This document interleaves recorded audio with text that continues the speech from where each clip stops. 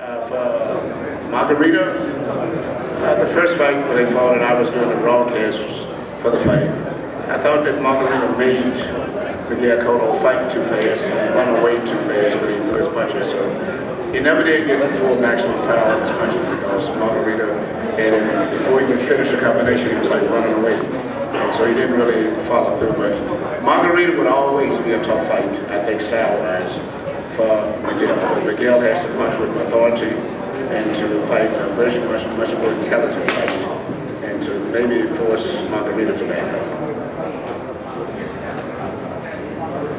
Miguel, So while there's talk, I hope you don't mind, Miguel, while there's talk of uh, a Miguel Cotto Margarito fight, uh, we have to negotiate all the deals, but if it happens, might as well take advantage. Antonio is here, so let's bring him up. Antonio Margarito. Oh.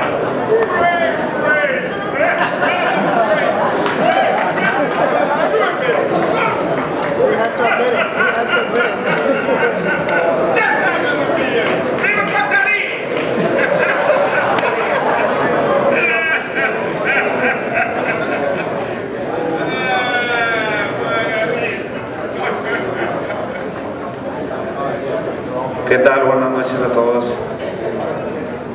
Vine a, aquí a Las Vegas a disfrutar la pelea. Quiero felicitar a, a Cotto por esta gran pelea que, que hizo. Como todos ustedes saben, pues Mayora pues solamente habla. I, uh, I came to Las Vegas to enjoy this fight. Uh, I uh, congratulate Miguel on uh, winning the fight. Pues ah, nosotros estamos entrenando ahí para, para, lo, que, para lo que venga. ¿no? And, uh, you know, I've been training, and uh, if the opportunity comes, that's what I'm here for. Gracias y gracias a, a todos los fanáticos por, por el apoyo. Thank you to everyone, and especially the fans, for uh, continuing to support me.